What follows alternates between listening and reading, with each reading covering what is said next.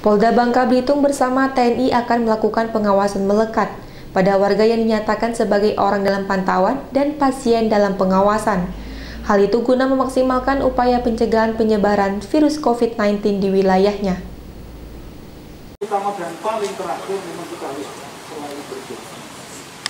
Polda Bangka Belitung bersama TNI akan melakukan pengawasan melekat pada warga yang dinyatakan sebagai orang dalam pemantauan dan pasien dalam pengawasan. Saat ini tim masih menunggu data lengkap terkait warga bubble yang menjadi orang dalam pantauan atau ODP dan pasien dalam pengawasan atau PDP.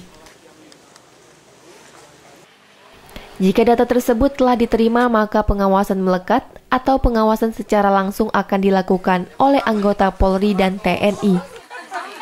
Kita akan menerjunkan personil Polri, juga nanti di backup oleh TNI.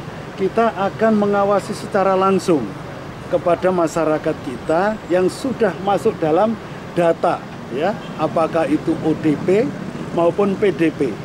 Jadi nanti di alamat tempat tinggal kita yakinkan masyarakat kita yang e, harus diawasi, kita lakukan pengawasan secara langsung di alamat masing-masing, ya kita masih mendata, uh, minta data dari pasien-pasien di seluruh Kepulauan Bangka Belitung ini. Dengan pengawasan secara langsung diharapkan dapat memaksimalkan upaya pencegahan penyebaran pandemi virus COVID-19 di Provinsi Kepulauan Bangka Belitung.